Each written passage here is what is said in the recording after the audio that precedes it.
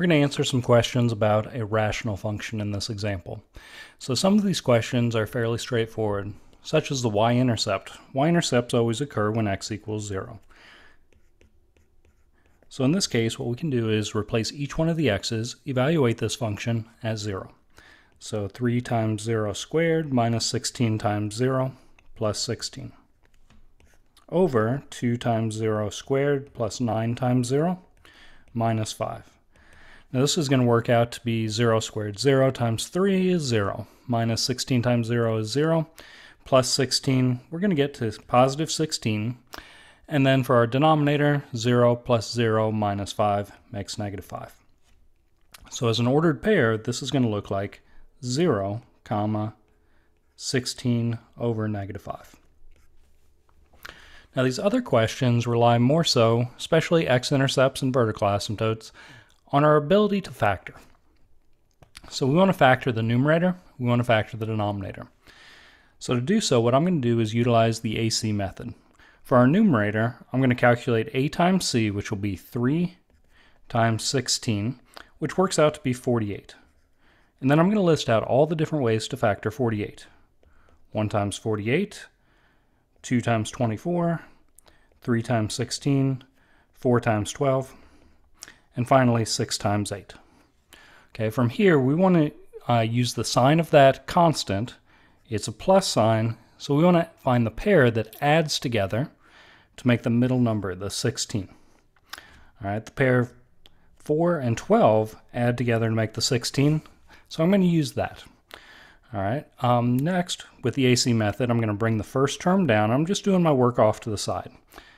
I'm going to rewrite that middle term, the negative 16x, strategically using 4x and 12x as my coefficients.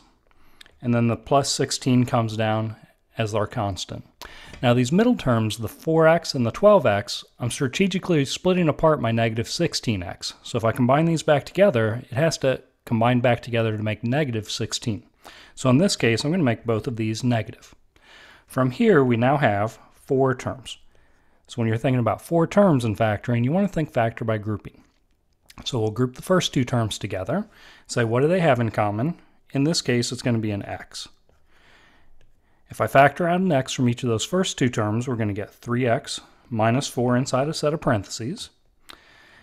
And now for factor by grouping to work, what's in that first set of parentheses has to be the exact same thing as what's in the second set of parentheses. So you're basically doing the same thing with that second pair of terms, the negative 12x plus 16, and saying what do they have in common? But sometimes it's handy to put what's in the parentheses first and then kind of work backwards. So now I think, well, they definitely have, let me think, they have a 4 in common, but we're going to have to make it a negative 4 so that when I redistribute, negative 4 times 3x makes negative 12x, and negative 4 times negative 4 makes positive 16. From here, to finish up our factoring, what's in front of the parentheses goes in one set, and what's inside the parentheses is a common factor now, it goes in the other set of parentheses.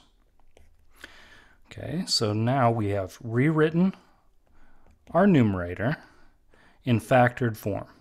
So I'm going to go ahead and write that x minus 4 times 3x minus 4. All right, now we want to factor our denominator.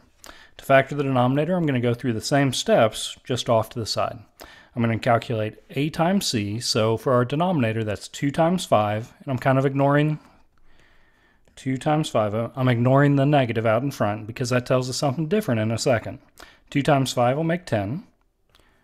All the different ways to factor 10 are 1 and 10, and 2 and 5.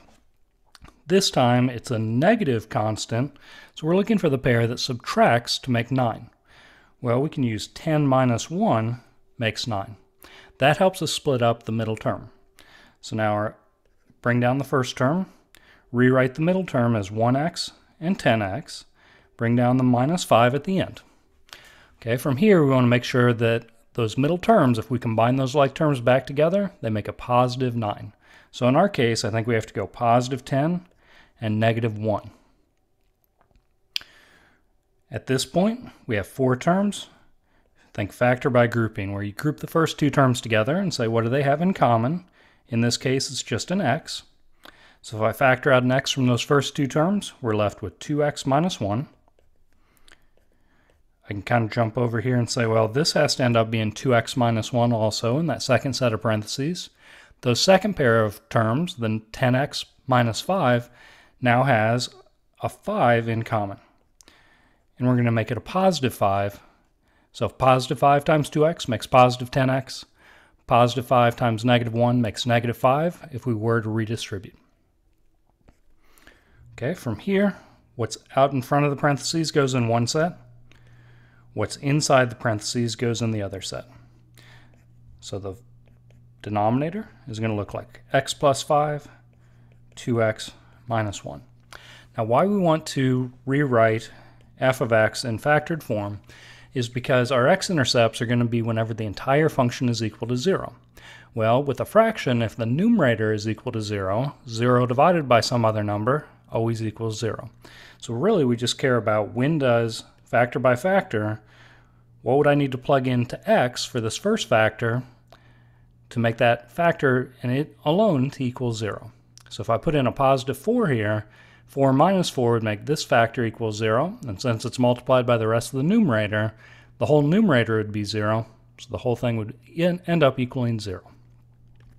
So we had x equals positive 4.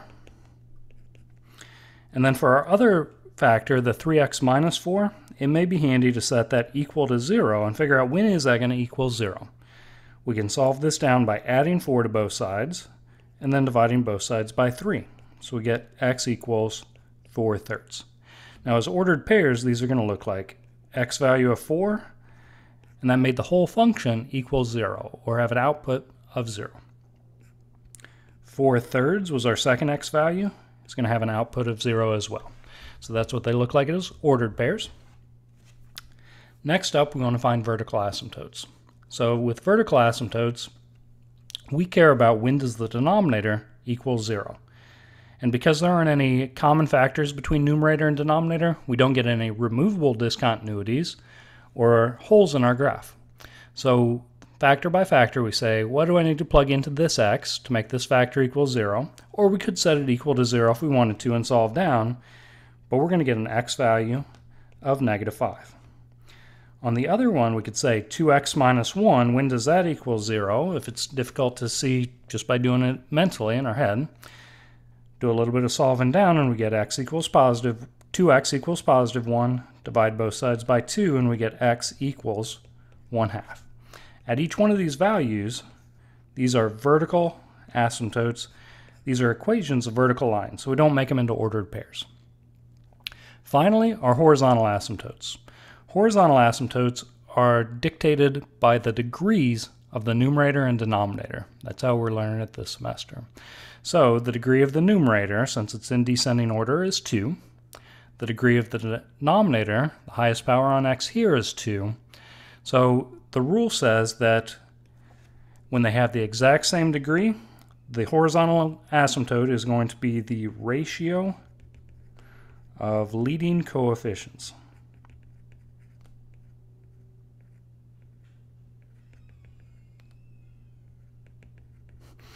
Pardon my spelling, and it's going to be y equals the ratio of leading coefficients. So what we mean by that is y is going to equal whatever the leading coefficient of the numerator is over the leading coefficient of the denominator.